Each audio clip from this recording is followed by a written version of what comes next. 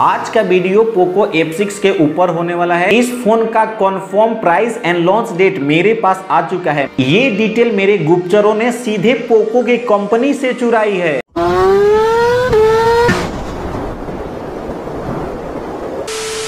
और तो और ये फ़ोन चाइना में लॉन्च हो चुका है Redmi Turbo 3 के नाम से। वैसे कुछ लोगों को नहीं पता है तो मैं आपको बता दूँ कि पोको भी Redmi का ही ब्रांड है, जैसे कि iQ Vivo का ब्रांड है। तो इस फ़ोन का प्राइस जानने से पहले इस फ़ोन के कुछ स्पेसिफिकेशन के बारे में जान लेते हैं कि क्या ये इंडिया की गर्मी को झेल पाएगा या इंडिया में आते ही ये तो आइए वीडियो को स्टार्ट करते हैं। सबसे पहले बात करें इस फ़ोन की डिज़ाइन की। इस फ़ोन को पोको वालों ने एकदम सिंपल एंड ग्लोसी लुक देने की कोशिश करा है। इस फ़ोन का बैग प्लास्टिक का ही दिया जाएगा। कोई लेदर और ग्लास बैग देखने को नहीं मिलेगा। इसके अंदर फ्लेट साइड डिज़ाइन दी गई है। यानी ये फ़ोन एक बॉक्सी टाइप डिज़ाइन के साथ आएगा। इसके अंदर कोई 3.5 पॉइंट mm का गड्ढा नहीं दिया जाएगा। इस फ़ोन का वेट अप्रोक्स 183 ग्राम देखने को आपको मिल जाएगा और 183 gram is good weight means ज़्यादा लाइट भी नहीं रहेगा और ना ही ज़्यादा हेवी रहने वाला है. मींस इट्स डेफिनेटली गुड इस फ़ोन में आयर ब्लास्टर इंक्लूड किया गया है. डेट्स गुड ये तो हो गई डिज़ाइन की बात. अब बात करते हैं इस फ़ोन का सॉफ्टवेयर एक्सपीरियंस के बारे में. अगर कॉलकॉम स्नैपड्रैगन 8s Gen 3 का प्रोसेसर दिया है मीन्स परफॉर्मेंस तो यहाँ पे तगड़ी होने वाली है. यही सेम प्रोसेसर IQ अपने अपकमिंग फ़ोन G9 टर्बो के अंदर देगा. मीन्स इस गर्मी में फ्री डब्ल्यूडब्ल्यूई देखने को मिलेगा, वो भी स्मार्टफ़ोन इंडस्ट्री में। मैं तो यही कहूँगा कि आईपीएल छोड़ो सब, आ जाओ फाइट देखने। इस फ़ोन का अंतुतु स्कोर ऑलमोस्ट 1.5 मिलियन के करीब देखने को मिलेगा।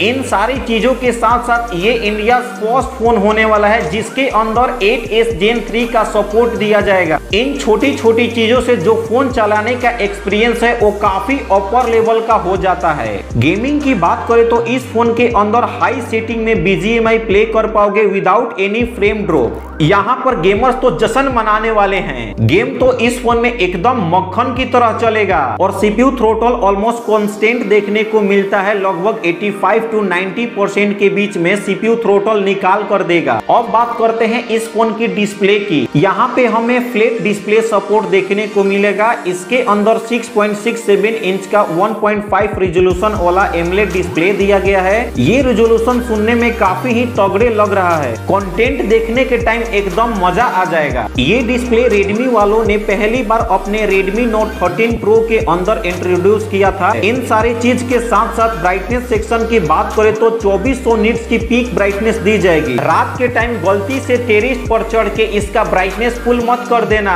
रात से दिन हो जाएगा। यहाँ पर हमें डोल्वी विजन का सपोर्ट भी दिया गया है। यहाँ पर अगर आप बेजल्स और चीन पे नज़र डालोगे तो बहुत ही पतले दिए गए हैं। एक सबसे तगड़ी बात, इसके अंदर कॉर्निंग गोरिल्ला ग्लास वेक्टर्स का सपोर्ट दिया गया है। मीन्स अगर रोड पे चलते टाइम गिर गया तो डोंट वरी आपको ऐसा करना नहीं पड़ेगा। डिस्प्ले के अंदर कोई भी शिकायत देखने को नहीं मिलेगी और एक्सपीरियंस भी बहुत ही नेक्स्ट लेवल होने वाला है। Let's go on the camera इसके बैक में ड्यूएल कैमरा सेटअप दिए गए हैं।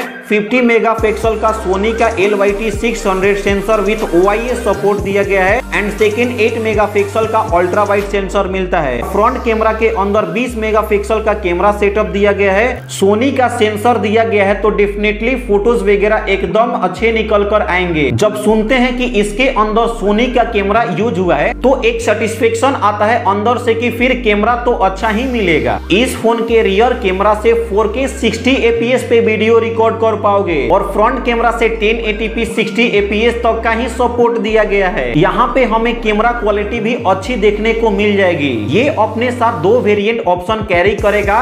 बारह जीबी दो सौ छप्पन जीबी और सोलह जीबी पाँच सौ बारह जीबी और इसका RAM type L P D D R five X मिलेगा and U F S four point zero का स्टोरेज टाइप दिया जाएगा। ये phone out of the box Android fourteen carry करता है, जो की हाइपर ओएस पर बेस्ड मिलता है। और तो पोको अपने फ़ोन के अंदर तीन साल का एंड्रॉइड अपडेट और चार साल का सिक्योरिटी पैच अपडेट देते हैं। तो इस फ़ोन के अंदर यही सिस्टम रहने वाला है। बैटरी सेक्शन की ओर देखे तो यहाँ पे आपको 5000 हज़ार का बिग बैटरी का सपोर्ट दिया जाएगा। फ़ोन के साथ में 90 वाट का फास्ट चार्जिंग सपोर्ट देखने को मिलेगा। इस 90 वाट के चार्जर से ऑलमोस्ट 45 मिनट्स में आपका फ़ोन फुल चार्ज हो जाएगा। तो यहाँ पे आपको कोई वायरलेस चार्जिंग का सपोर्ट देखने को नहीं मिलेगा। बट ठीक ठाक चलेगा। वही अगर कनेक्टिविटी की बात करें तो इसके अंदर टोटल 12 5G बैंड्स दिए हैं। यहाँ पे ड्यूएल 5G कनेक्टिविटी सपोर्ट मिल जाएगा। इसके साथ साथ वाई वाईफाई 6E का सपोर्ट है। ब्लूटूथ 5.4 का सपोर्ट भी प्रोवाइड किया जाएगा। और तो और इसके अंदर NFC का भी सपोर्ट मिल जाएगा। कुछ और भी स्पेसिफिकेशन जो की इस फ़ोन के साथ देखने को मिलेगा। जैसे in display fingerprint and stereo speaker with Dolby Atmos support and an IP64 rating conclusion की बात करें तो ये फ़ोन मई के लास्ट तक या जून के स्टार्टिंग में लॉन्च हो जाएगा। और इस फ़ोन का प्राइसिंग लगभग अट्ठाईस हज़ार रहने वाला है। इस प्राइस रेंज में ये फ़ोन मैं बोलूँगा डेफिनेटली अच्छा रहेगा। अगर ऑफ़र वगैरह लगाकर ये फ़ोन आपको पच्चीस हज़ार तक मिले तो बिना सोचे इस फ़ोन की ओर जाना। क्योंकि इस प्राइस रेंज में ये बेस्ट फ़ोन होने वाला है। अगला वीडियो कौन से फ़ोन के टॉपिक पे चाहिए कॉमेंट में लिखे। मिलते हैं ऐसे ही नए और फ्रेश वीडियो के साथ। तब तक के लिए बाय बाय टेक केयर